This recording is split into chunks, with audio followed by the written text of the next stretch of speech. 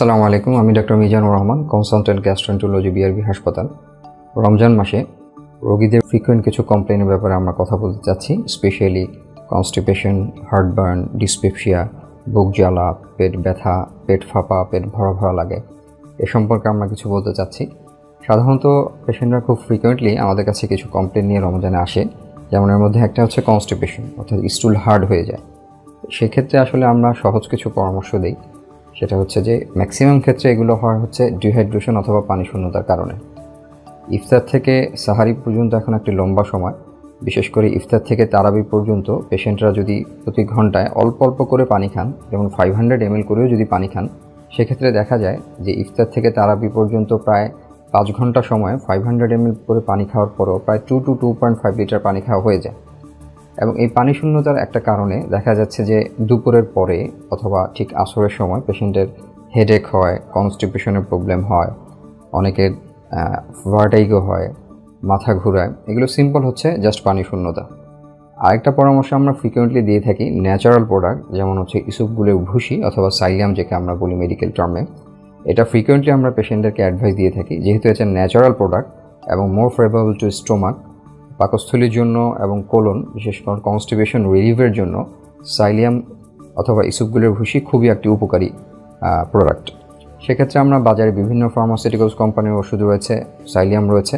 তা আমরা সাজেস্ট করি যেমন রেডিজেল এন যেটা রেডিজেন্টের ফার্মাসিউটিক্যালস অ্যান্ড ন্যাচারাল ইসুপগুলের ভুসি বা ন্যাচারাল সাইলিয়াম এটা সাধারণত আমরা ইফতারের সময়, সাহারির সময় এবং তারাবির পরে রাত এগারোটায় এক চামচ করে এক কাপ পানির সাথে সাথে সাথে মিশিয়ে, সাথে সাথে সেবন করার জন্য পরামর্শ দিয়ে থাকি। কারও কারও দেখা যায় যে এক চামচ থেকে দুই চামচ প্রয়োজন হয়, তিন চামচ পর্যন্ত ইজিলি পেশেন্টরা ইনটেক করতে পারে।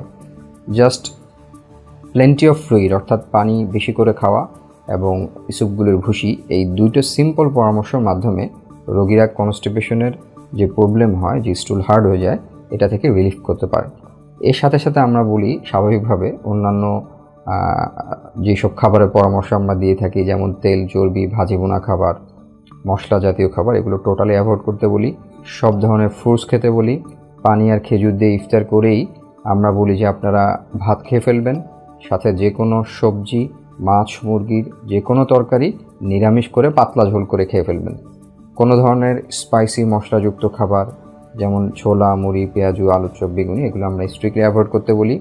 ফল খাওয়ার জন্য আমরা অ্যাডভাইস করি যে কোনো ফল মৌসুমে যেটা সহজ হয় সেটাই খেতে পারবেন।